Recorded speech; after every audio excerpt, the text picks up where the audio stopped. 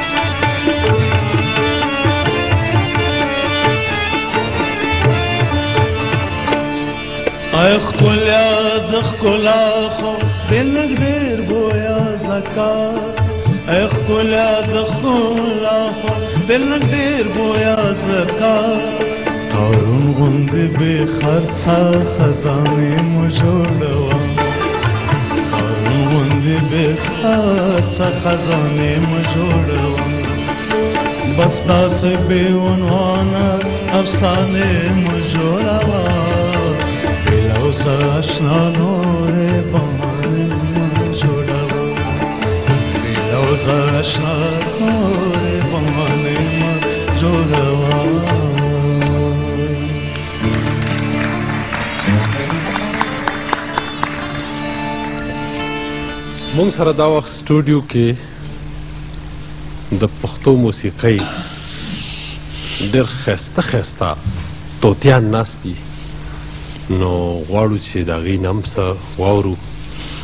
زه زما د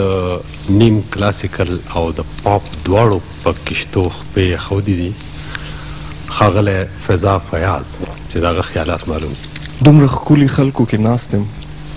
څومره لوی خوش قسمت یم چی ددی اندازه نشم کولی هر طرف ته راته د فن لوی بلند خلک ښکاری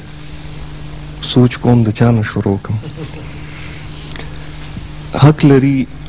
چې د استاد مبارک علي خان صاحب نه شروع کوم چې په ستار باندې دې ټایم سنگت کوي زما استاد ډیر لوی نوم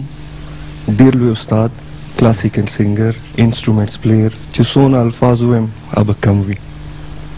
خیال صاحب زما روحاني استاد چې د چا د انسپریشن د وجې نه ما میوزیک شروع کړی دی ما خپل اواز ازمو کړی دی خیال صاحب تعریف په زه په کم الفاظو کې وکم داسې الفاظ نه ګورم نه وینم زمونږ د ټولو عمر دی خدای دی لور کی او دی له دی خدای پاک عمر سي چې مونږ ته خواږه خواږه سورونه او زمونږ په سر باندې یو خوک سورې همیشه د پاره ولاړی خدای نه اوس بیا ډیر شکر کوم چې خدای مال د عمر دومره عمر راکو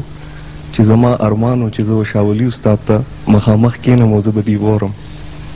دومره لوی استاد دومره سوریلا دومره مشکل ګایک په خدای ډیر شکریا ادا کوم او د دې شکریا ادا کوم چې دی رال او زمونږ ته دا موقع وبخله ډیره مهرباني